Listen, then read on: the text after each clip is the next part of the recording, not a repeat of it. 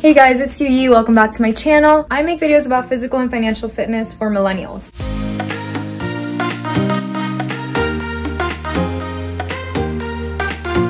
So over a month ago, I actually put out a video about a $100 millennial grocery haul, which I always keep referring to because I still have most of the food that I bought there. One thing I have noticed is that I am lacking in produce, fresh fruits, fresh vegetables. I just figured that I would go to the store and grab some of these items so that I don't feel that restricted in what I can or cannot cook. The other plus side is that I'm putting more whole foods into my body that are high in fiber and rich in nutrients.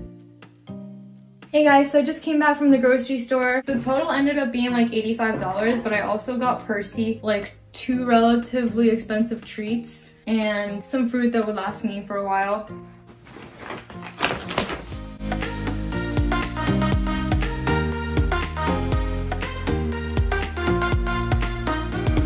Okay, so here is the second grocery haul, I guess, but this is mostly, I would just call this a produce haul. This is all pretty much perishable food. Got some bread, some mozzarella that isn't actually real mozzarella, some deli ingredients so that I can start making sandwiches and bringing those to work. I'm not usually a sandwich person, but when I was there, I was craving it. So these large eggs, like half of this box was 50 cents. So I got two of them. The medium eggs, there was there were only a few left. These were like 89 cents.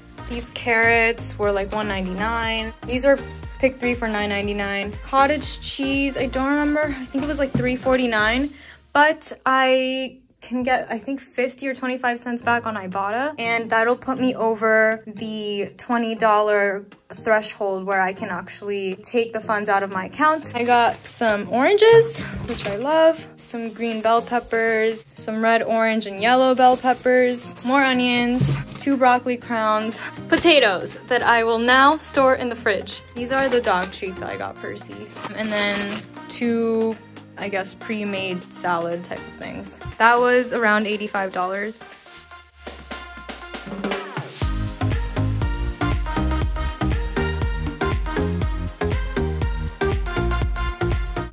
Okay, now that I finally have produce, I can make salads, make sides to my chicken and pasta dishes, and just eat healthier. I'm very happy I went. The store was actually not that full, but I kind of just wanted to go in and out. I didn't want to stay there and film things. They actually have a rather large selection of stuff now. The shelves are stocked, which is really good. Some things are still a little more expensive than they were before, but that's okay. So at this point, the only thing I anticipate purchasing within the next month could probably be some sort of meat, you know, chicken, beef, pork, etc. Only have chicken thighs left now. I tried going a little vegan for a while, but we'll see. Thank you guys so much for watching. Again, please don't forget to like, comment, and subscribe. I'm actually really enjoying making these videos. It doesn't seem like a chore to me, but I am putting a lot of time into it. So if you could please give it a like if you enjoyed it, that would be great and seriously appreciate it. Comment below if you've been grocery shopping a lot or if you haven't. Let know maybe how much you typically spend in a month. Thanks for watching.